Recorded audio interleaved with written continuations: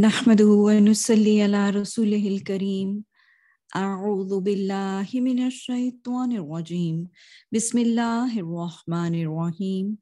رب اشرح لي صدري ويسر لي أمري واحلل عقدة من لساني يفقه قولي واجعل لي وزير من أهلي. اللهم فكهنا في الدين. رب زدني علما. اللهم إني أسألك علما نافعا رزقا طيبا وأملا متقبلا آمين ثم آمين السلام عليكم ورحمة الله وبركاته Surah As-Saf. The surah was revealed in Medina with 14 verses, 2 stanzas, 61st by the order of arrangement, and 109th by the order of revelation. The name of the surah, it derives from what Allah has mentioned in the fourth verse. Allah says, يُقَاتِلُونَ فِي سَبِيلِهِ صَفًّا كَأَنَّهُمْ بُنْيَانٌ مَرْسُوسٌ That the Muslims, they fight in the path of Allah as if they were what? They were a strong constructed wall. They were in rows. They were in a saf. The period of revolution has been explained to be closely following the Battle of Uhud. And the main theme and the subject matter of the surah is to, first of all, is to exhort the Muslims to adopt sincerity, to adopt sincerity in faith and to struggle with their lives in the cause of Allah. At uh, the outset, the believers have been warned to the effect that Allah indeed hates all those people who say one thing and they do other.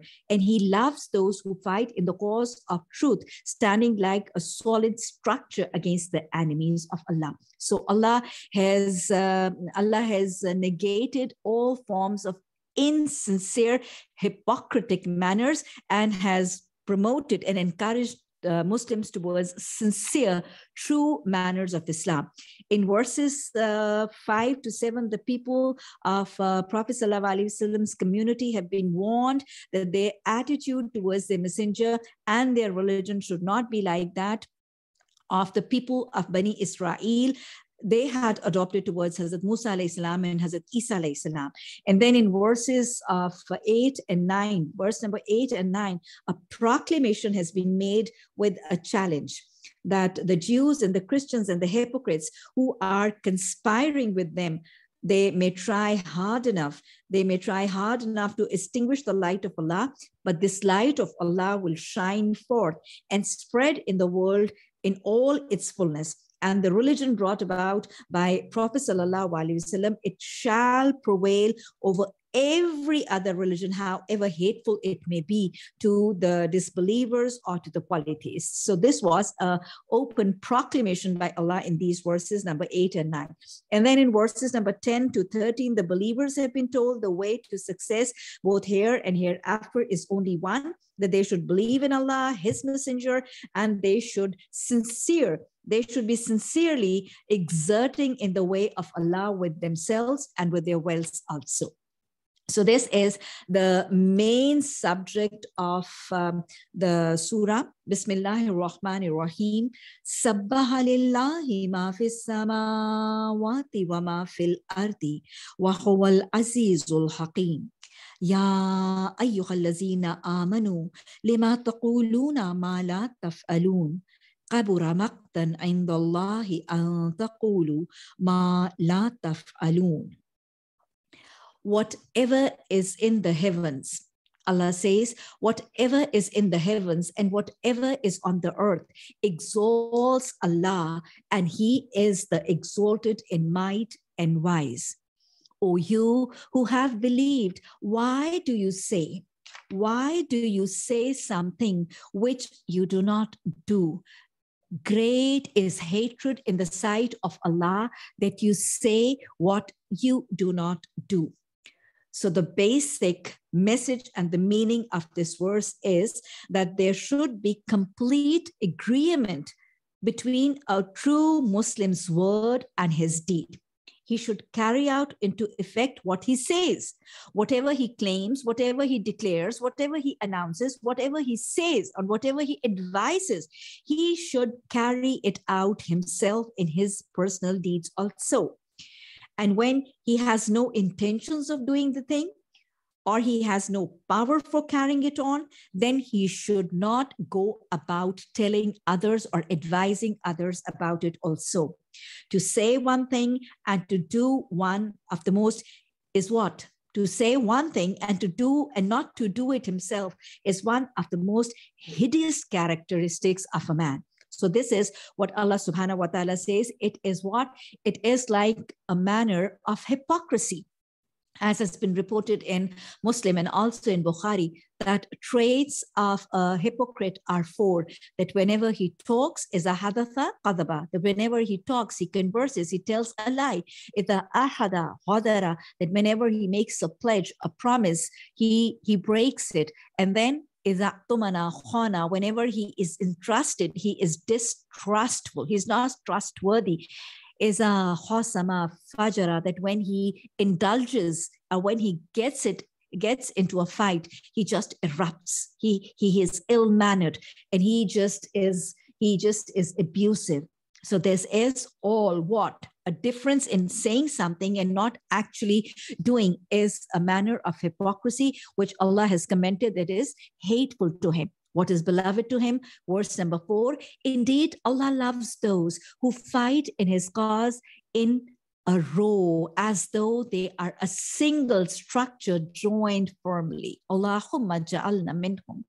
And mention when Musa salam said to his people, Oh, my people, why do you harm me while you certainly know that I am the messenger of Allah to you? And when they deviated, Allah caused their hearts to deviate, and Allah does not guide the defiantly disobedient people and mention when Isa salam, the son of Maryam salam, said, O children of Israel, indeed I am the messenger of Allah to you, confirming what came before me of Torah and bringing good tidings of a messenger to come after me, whose name is Ahmad. So we learn from here that the glad tidings and the good news of arrival of prophet sallallahu alaihi was given by the books of the previous messengers also. The arrival of uh, prophet sallallahu alaihi was mentioned was informed and was prophesied by hazrat musa alayhi salam by hazrat isa alayhi salam and has been mentioned in injil and torah also name of Prophet Sallallahu Alaihi Wasallam, his father's name, his mother's name, the name of the community or the locality or the city in which he will be born and bred, and the name of the city to which he will immigrate, the, the characteristics of the rows of Salah of his companions. This has all been mentioned to the finest of details.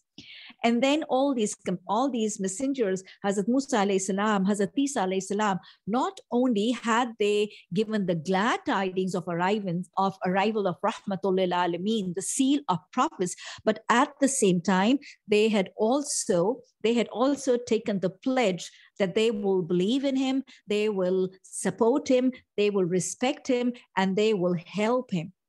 So that is why Allah subhanahu wa ta'ala is mentioning here, because the people of the Jews of Medina, they were going against the pledge and they were going against the information of their book, which had been revealed to them in the verses of Torah. And uh, clearly remember that all those who go through the complete book of Torah and Injil, they definitely come across all these glad tidings which have been revealed in the verses of the two divine scriptures. So, bringing good tidings of a messenger to come after me, whose name is Ahmad. But when he came to them with clear evidences, they said, This is obvious magic. This was all what? This is obstinacy, stubbornness, and arrogance. And in fact, Above all, it was the world, it was the worldly love. And who is more unjust than the one who invents about Allah untruth while he is being invited to Islam and Allah does not guide the wrongdoing people? They want to extinguish the light of Allah with their mouths, but Allah will perfect His light, although the disbelievers dislike it. And it is He who has sent His messenger with guidance and the religion of truth to manifest it over all religions, although those who associate others with Allah dislike it. Remember, may the polytheists, may the disbelievers, may the people of the book, may all of them all the kafirin, all the fasiqeen, all the munafiqeen, may all of the anti-Islamic forces, they unite to suppress this nur of Allah, this religion of Islam, they will not succeed to do so. And that is what Allah subhanahu wa ta'ala is mentioning in this verse number eight and nine. This religion was this nur of Allah, this nur of Quran was made. It was made, it was created, it was sent down to be perfected, and it will be perfected. It will be perfected. Remember, we need not worry about its perfection. We need not be in a state of despair about its perfection. It is all to Allah subhanahu wa ta'ala. He has planned that it will be perfected. And so we need to believe that it will be perfected. So rather than just just getting upset of how it will be perfected what we need to worry about is that how much of our time how much of our time of our activities of our struggles or of, of our efforts and our wealth and riches are we spending for the perfection of this perfect religion because those who will be deprived those who will be deprived will be deprived hereafter and those who achieve this goal of working of striving and struggling for the perfection of this religion will obviously be those who succeed here and hereafter. Allahumma ja'alna minhum. O you who have believed, shall I guide you to a transaction that will save you from the painful punishment it is that you believe in Allah and His Messenger and strive in the cause of Allah with your wealth and your lives. That is best for you if you should know. He will forgive you for your sins and admit you to gardens beneath which rivers flow and pleasant dwellings in gardens of perpetual residence. That is the greatest attainment. And you will obtain another favor that you love victory from Allah and an imminent conquest and good and give good tidings to the believers. O you who have believed, be supporters of Allah. o you who have believed, be supporters of Allah, as when Jesus, the son of Hazrat Maryam alayhi salam, said to his disciples, Who are my supporters for Allah? Man answari ilallah was the call of Hazrat Isa alayhi salam.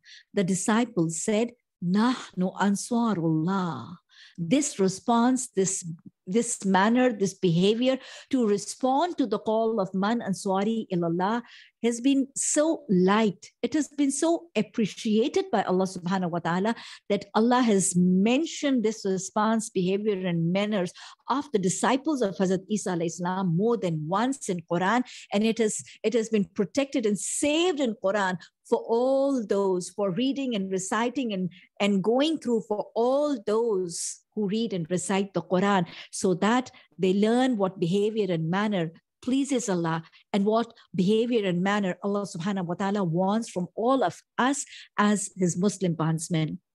They said, We are the supporters of Allah. And a faction of the children of Israel believed, and a faction disbelieved. So we supported those who believed against their enemy, and they became dominant. اللهم اهدنا الصراط المستقيم. اللهم اهدنا الصراط المستقيم. اللهم ألهمنا رشدا وأعزنا من شرور أنفسنا. اللهم أرنا الحق حقا وارزقنا اتباعه.